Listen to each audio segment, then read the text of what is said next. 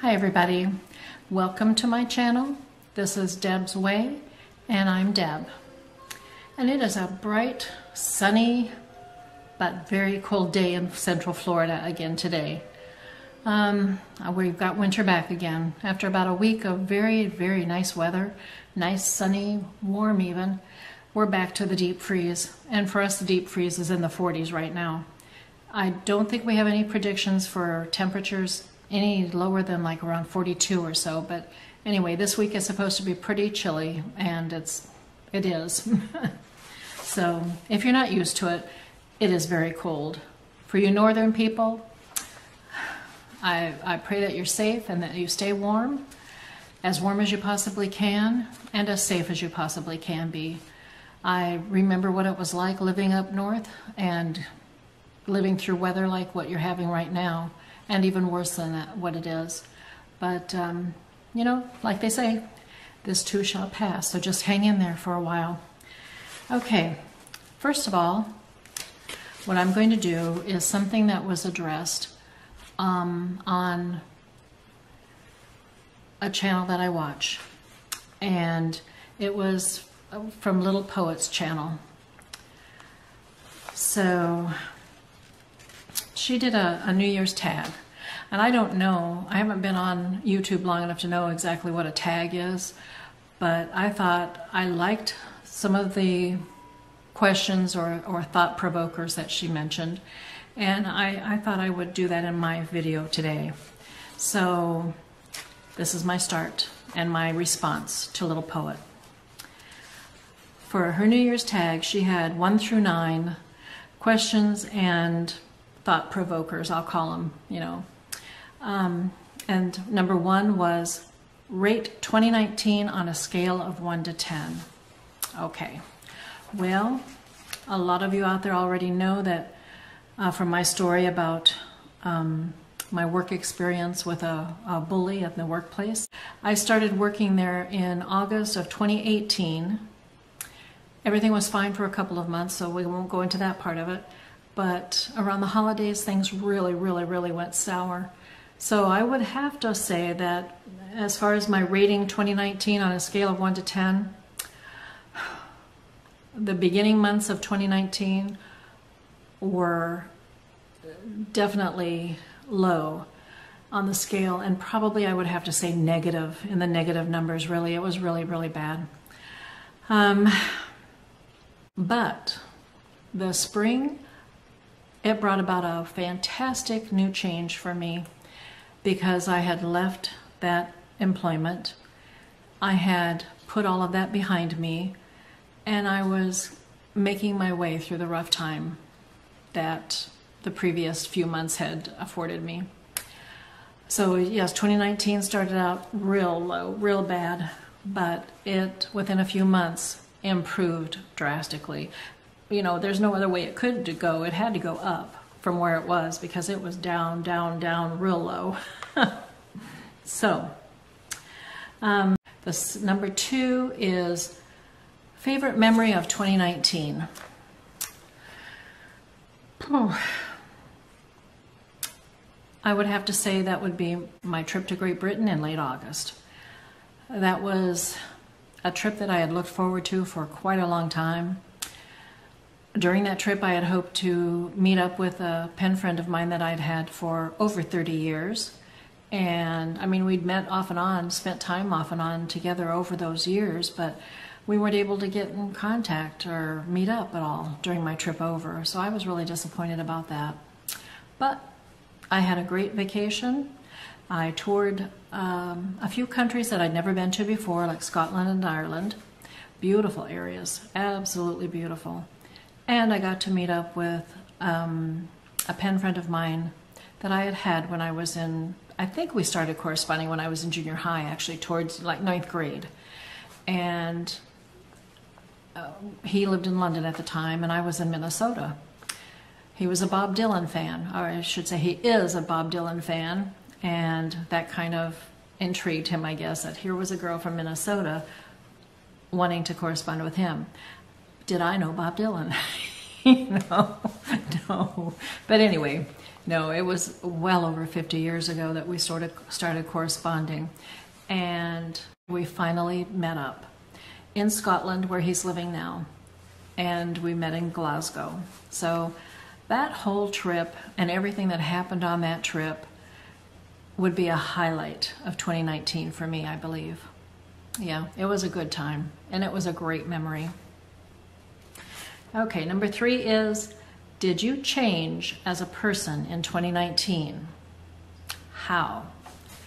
Oh my goodness. Well, most definitely, yes, I did change. In the beginning of the year, primarily, of course, because of what I was going through in the workplace. That had quite a major effect on me, how I acted, how I dealt with things. It affected my home life as well. Too much, too, too much. Until I finally decided that enough was enough. You know, that I did not have to take that anymore. And I left. And then things kind of returned to normal for me. I became me again, you know, and enjoyed life again. So number three, yeah, that was the how. It was the, it was the work, my work life affecting my personality and my outlook in life, uh, and just everything, my whole demeanor. It was having a very, very negative effect on me. So yes, it had to change and I brought about that change. So, number four is favorite video you did in 2019 and why? Well, I haven't done that many videos, mm, you know, just over a hundred, I think, some hundred something.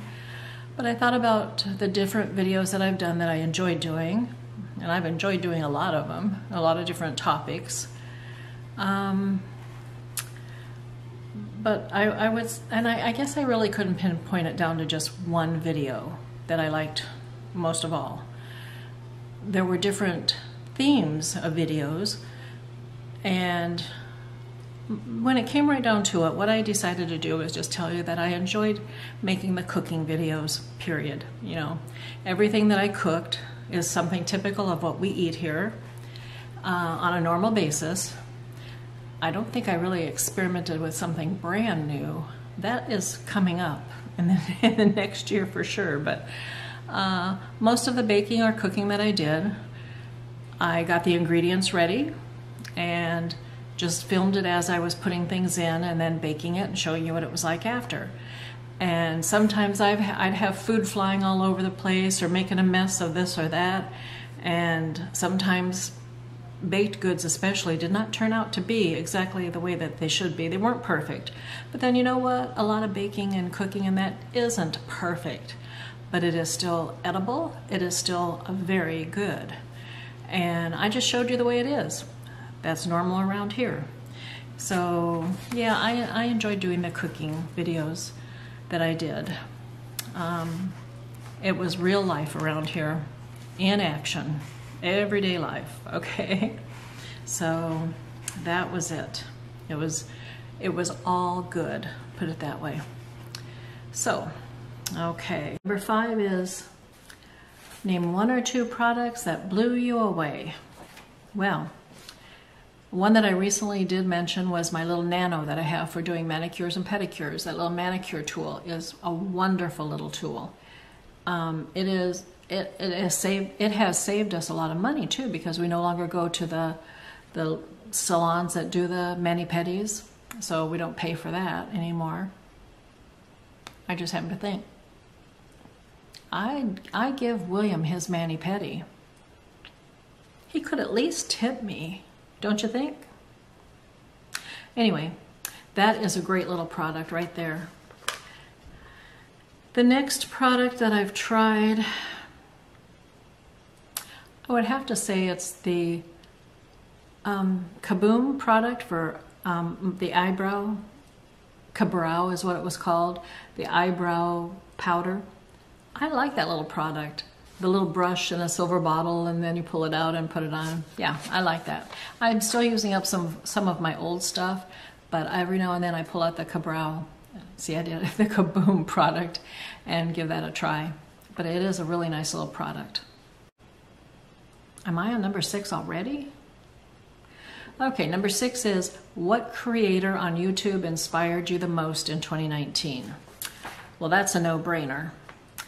Even though I watch YouTube channels of various topics, um, yes, I would have to say that Lead Me to Peace Jeannie has been the biggest influence on me, my whole career here on YouTube, because when I was having my troubles at work, I was talking to her off and on about that. And when I left work, we were in contact constantly. And she kind of suggested that I give this a try. She thought I might like it too, that she'd been doing it for so long. And I did try it. I got started on it. And boy, did I get hooked. So, yes, I've enjoyed doing the videos. I've enjoyed the comments that I've received. I, I have really this has been a good hobby. This is what I look at it as being too, as a, as a nice hobby. It puts me in contact with you out there, and I love communicating with you and, and chatting with you through comments. Um, it, it's just been a lot of fun for me. So yes, I do appreciate Jeannie's um, suggesting this and me going forward with it. So thank you, Jeannie. Okay, number seven.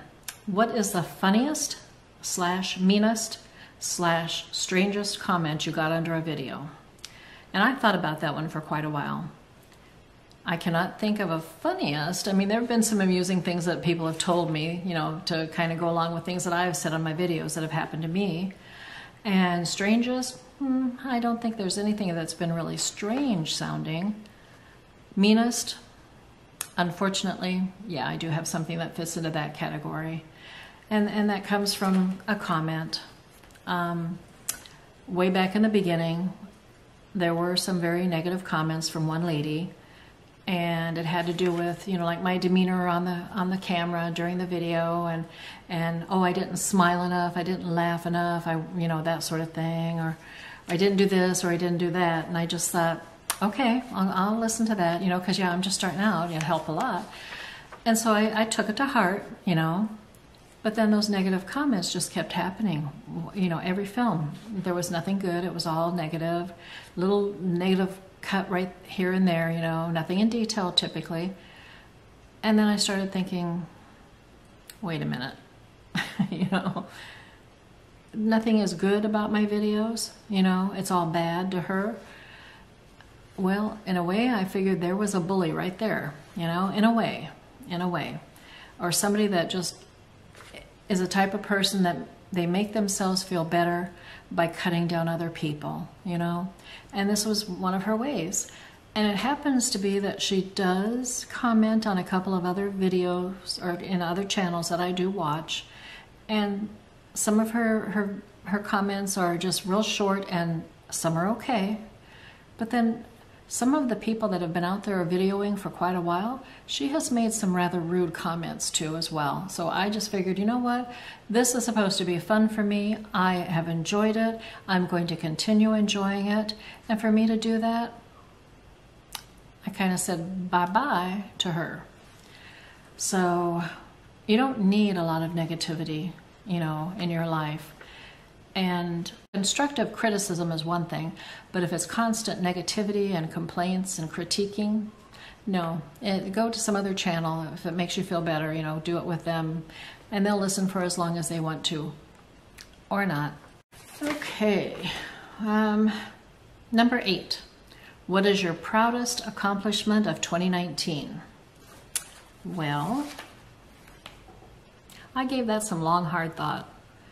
Because to me, accomplishments to me in the past have been when I when I finished a, a training class, when I got a new job, you know, um, when I got a diploma, you know, when I graduated college, that type of thing. Those to me are accomplishments. But you know what? There can be little accomplishments too in life that you should celebrate. And maybe I just don't take time to do that. And maybe I should.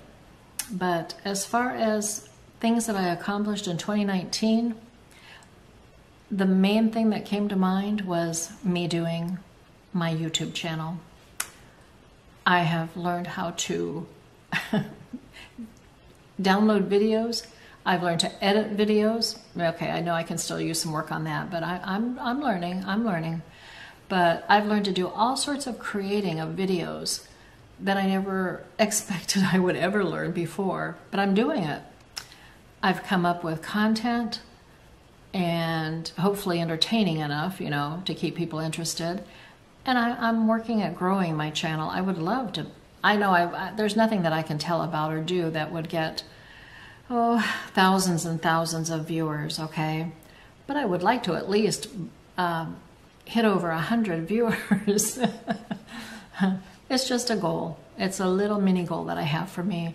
A couple hundred viewers would be nice too, whatever. But I'm working at it. I'm growing it. I'm just having fun with it. And that's what counts to me right. That's what means most to me right now is that I do enjoy doing this and putting out a video that people will hopefully enjoy or learn from, okay? That's what I like. So yes, me doing my YouTube channel and hopefully doing it well, I, I, I hope, um, it means a lot to me. It has been a very um, good accomplishment for me. Okay, what is the one word you would use to describe yourself in 2020? Okay, so that means this next year to describe myself. So that would be a cumulative effort from the past years. And I would have to say that when I look back over my life, that not so much in the early stages, I'm talking as an adult, that I would have to say my most favorite word would be survivalist. Okay? I I feel that I, I can deal with things as they come up. It might take me a few months or whatever to figure out what I'm going to do, but I deal with things as they do come up and I, I work things out so that I am still on a going forward path in life. I, I don't let anything take me back for long, and I don't fall back for long. I keep striving to go forward and just carry on the best way that I know how, um, giving me the most happiness in my life. So, that's what I would say. My one word is survivalist. I am a survivalist. I'm going to survive this life no matter what happens. so, okay, those were the nine things, my list of nine items that little poet came up with and that I decided to respond to. I thought it was a good list, very thought provoking, some of the items were. So, Anyway, I hope you found it interesting. I hope it sparked a little bit of interest in some people out there. And if you feel like replying in the comments below, please do so and let me know what you think. I'd be glad to, hear I would love to hear from you. And as far as tagging, I don't know how to officially tag somebody except to say on here that, well, I don't know many other YouTubers along the same line of things except Jeannie, you know, so if you would, take a look at those nine questions because I'm going to post them with this video. And how about a little video from you too, huh? Okay, so that, that's kind of like a challenge. Yeah, I'm a challenge and Jeannie. so anyway, do what you want or, you know, what, whatever. But I found it to be an interesting little conversation, initiator, sparker, whatever you want to call it. So Anyway, now, as far as my channel goes, yes, as I said, I would like to grow my channel. I would like it to be a little bit bigger. That's just my goal for this next year. We'll see what happens. You know, time will tell. That's another thing.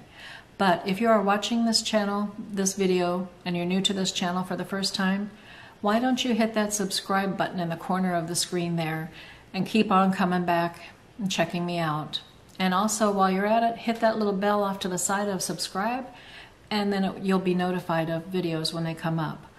I am going to be recording videos every Monday, Wednesday, and Friday. I was doing Sunday there for a while, but I, I just got off of it during the holidays. I'm not sure if I will continue that or not, but Monday, Wednesday, and Friday definitely. And I do a lot of different things. You know, I cook, I, I do some little traveling, day trips here and there. Shopping, yeah, I do shopping too. And then odds and ends things during the, um, during the week. So if you're interested, come on back. I'd love to have you here, okay? But otherwise, that's about it from me for now. Um, so I hope you all are having a great day. Take care. We'll be talking again real soon, but bye for now.